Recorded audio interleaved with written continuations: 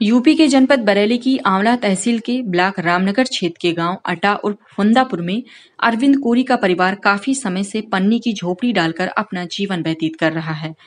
अरविंद ने बताया कि उनके पाँच बच्चे हैं। अरविंद के नाम चार बीघा ज़मीन है। वो भी बीमार पत्नी के इलाज कराने के लिए गिरवी रख दी है।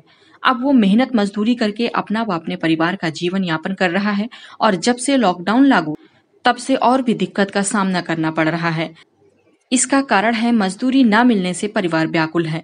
अरविंद कोरी ने जब अपने गाँव के प्रधान पप्पू वर्मा से अपने आवास के बारे में कहा कि मैं व परिवार तेज धूप व बारिश के मौसम में एक पन्नी डालकर रह रहे हैं, ऐसे गाँव में बहुत लोग गरीब व बेसहारा हैं, जिनके आज तक आवास व राशन कार्ड नहीं बने हैं।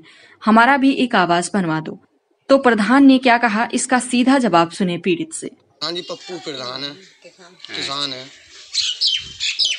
वो आपकी समस्या सुनने को तैयार नहीं है। नहीं कोई कोई समस्या कोई कोई ना ये ऐसी यानी जैसे अब जैसे समझ लो कोई कोई बात के लिए सुनवाई नहीं हो रही है।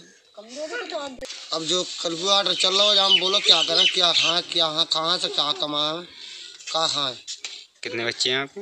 पाँच बच्चे हैं। ज़मीन कितनी है? ज़मीन चार बीघा है। और साहब जी बिल्कुल ही कोई कैसी हुई यानी न सुनवाई कैसी हुई ना है। हमारे लिए तो। ये जो फ्री में इस समय राशन वितरण हो रहा है राशन मिल रहा है या नहीं? वो तो ये यानी ये समझ लो यानी कम से कम बारह चौदह साल के बाद अब मिला है हमने जब बनवाया था। अच्छा मिल रहा है इस समय? हाँ अब इस टाइम मिल रहा है।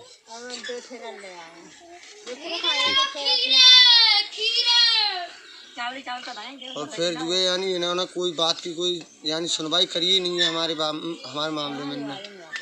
तो हम कहते हैं तो ये मानते ही। नहीं अच्छा। है ये जो ये तो ये समझते हैं बहुत ही और कुछ है इन पे क्या है। जब आपने प्रधान जी से कहा उन्होंने मना कर दिया उसके बाद किसी उच्च अधिकारी के पास गए आप? नहीं हम नहीं गए उनके पास। हम कहीं पे भी नहीं गए क्या नहीं है अगर जानते होते तो हम सिगरेट काम करा लेते। पढ़े लिखे हम है नहीं।